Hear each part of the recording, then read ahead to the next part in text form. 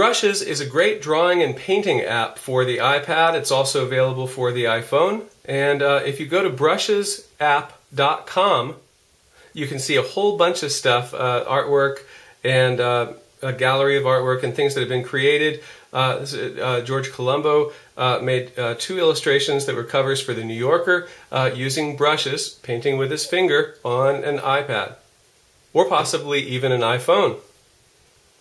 So let's take a look at the Brushes app. Here's the icon. We tap the icon for brushes and we open it up. And this is something I doodled just to kind of learn all the features uh, and be able to tell them to you.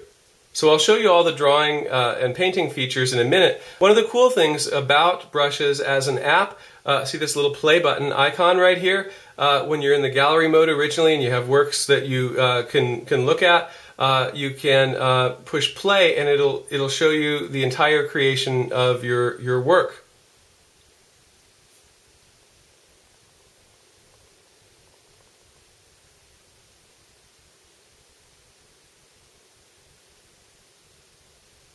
So you can see the entire creation process, including things that uh, didn't work, some experiments that were painted out. Uh, so I think that's a pretty interesting feature that's a, a bonus for brushes.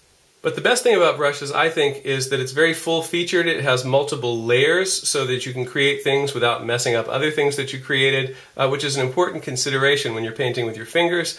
Uh, and also, it's very easy to use. I think most people could pick it up from scratch and just start working without any problem. And by the way, this is also uh, a great tool for doing uh, little thumbnail sketches for compositions, just mapping out the shapes and the relationships. So keep brushes in mind uh, for a, a, simple, straightforward sketchbook when you're making a bunch of uh, bunch of thumbnails and trying to work on a composition.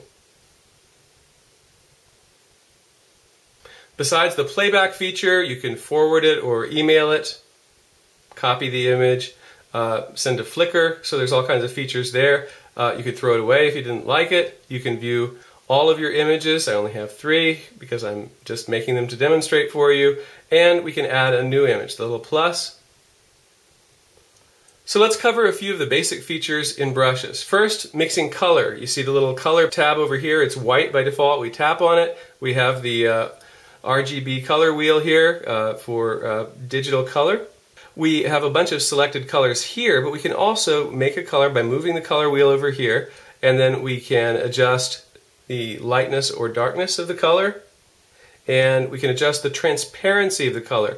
And making things a little bit transparent uh, as a brush uh, lets you blend colors uh, a lot easier. Kind of like glazing with transparent colors, you know, mixing with linseed oil in traditional oil painting. You'll notice when I adjusted the opacity of the color, then a diagonal line came across and now there's two colors. On the left half of the diagonal, you see the color that we just mixed, and then you see the right side, uh, what the color would be at that level of opacity. So if we want to save the color that we've mixed, I like that, so I'll just drag it over here. And you can see you can make a mark. And there's different kinds of brushes. And uh, even though the iPad is not touch sensitive, you can see that looks like it is touch sensitive, right?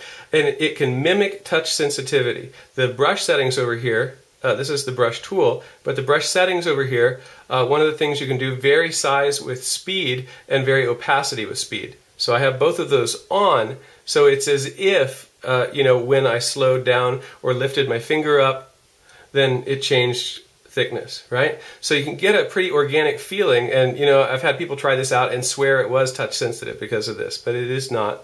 But it feels like it. So it has a really organic uh, feel to it, right?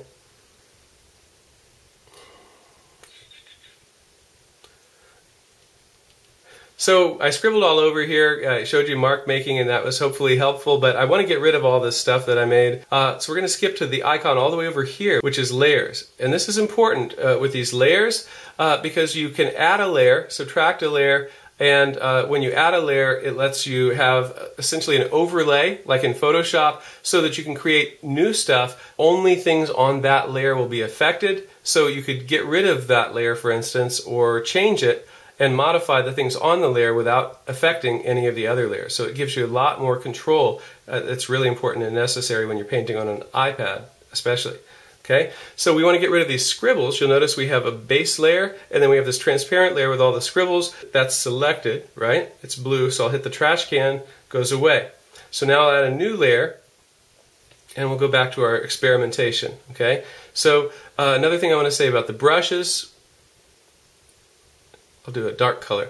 Another thing I want to say about the brushes, uh, when we go over here to adjust the brush, you'll notice there's all different kinds of brushes. You can have just a solid stroke, right?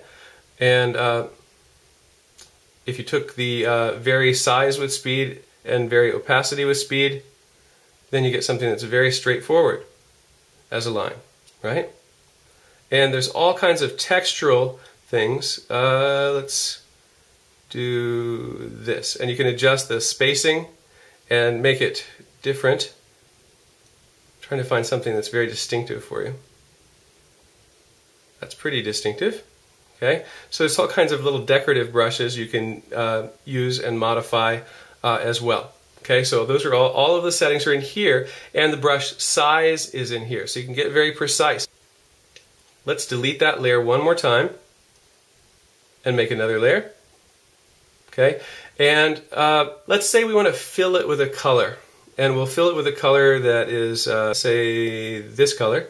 And we can use uh, the bucket. We just clicked on it, and there it is. So we have a whole layer that's nothing but that color.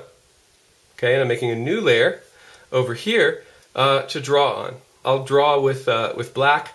And how, again, do you get precise with, uh, with the colors? Well, one, you can adjust the size, right? And the second thing you can do is you can zoom in. You can zoom in on your drawing. Let me pick a standard brush for you here. And I'll make this like this. I want to draw with a standard brush. So I'll just draw I'll just draw a cartoony face really quick so I'm not keeping you. Okay?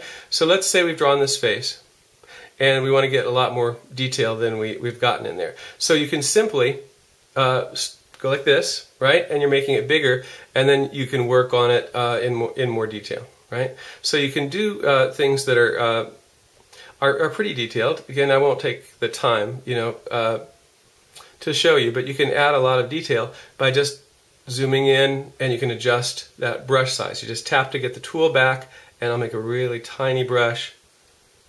Let's see if I can do it with just a couple pixels.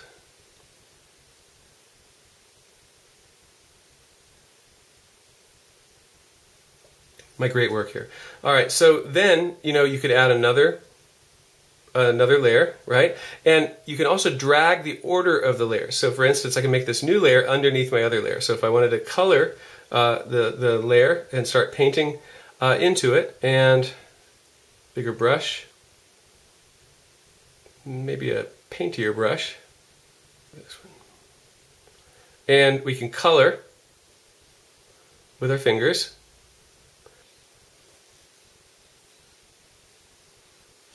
Let's say I didn't like the coloring that I just did. I can hit this little icon, this little spirally backwards arrow, and undo. Or I can redo.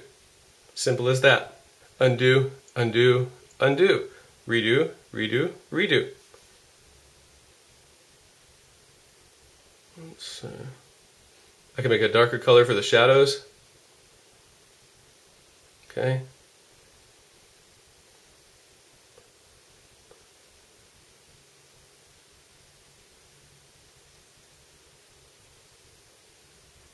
So we could paint and paint and paint on this. Uh, let's go back to the gallery momentarily and make a new one.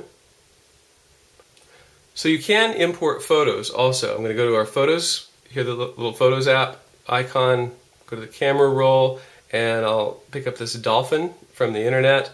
And you don't grab it by the corner. It looks like you should, but you don't. You can move it around and you can stretch it just by going like this and position the photo for photo reference if you wanted to. So you could paint right over a, a photo.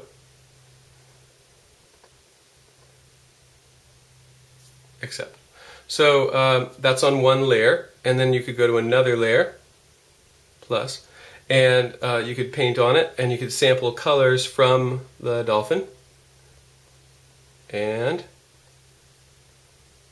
let's paint with the, the brush that's there, but you could paint with that color.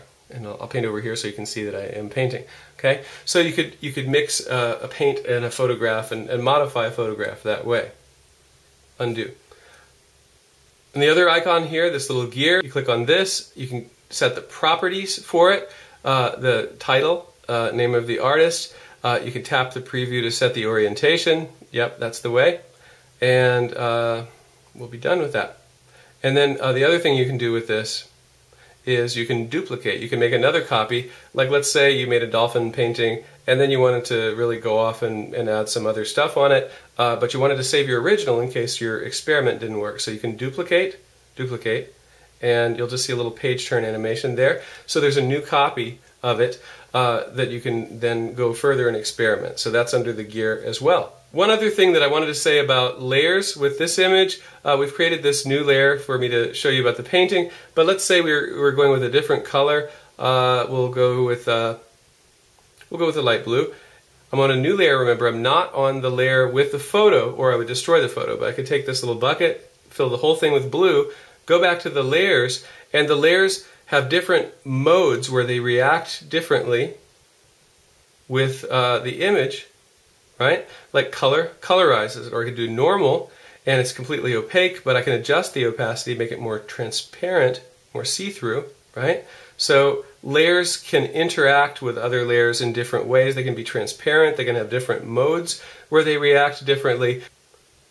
And another way to erase a layer is this little eraser icon inside the layers panel. Click and it's gone. We just erased the contents of the layer, but it's still there. Uh, if you want to have a really high resolution copy of your uh, work and you have a Mac, you can do this. You can go to brushesapp.com backslash viewer here, uh, brushesapp.com backslash viewer, and download this free app uh, that's called Brushes Viewer. And Brushes Viewer will allow you to export uh, either the image or the movie I showed you of the creation, the entire creation of your work, but you can export the image in very high resolution and then you could work on it in, say, Photoshop. But many, many people are creating astoundingly professional illustrations just using brushes, and I'm, i plan to uh, work on this myself. It's a, a, pretty nice, intuitive program, and one of the conveniences of the iPad is you have this little lightweight portable thing that you can sit and sketch just about any place. And one other thing about brushes that I wanted to talk about, I wanted to mention that you can use a stylus.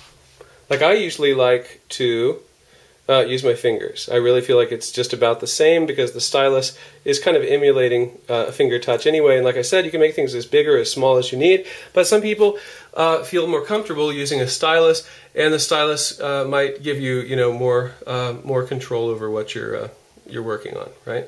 So throwing a little gestural comic booky figure here. So anyway, you can uh, you can use a stylus if you want, and again you can adjust the, the brush size. You can zoom in and and work, and uh, you might find that to be a more uh, uh something that you like. Again, it's not pressure sensitive, so it's not the same as drawing like on a, a Wacom tablet or anything like that.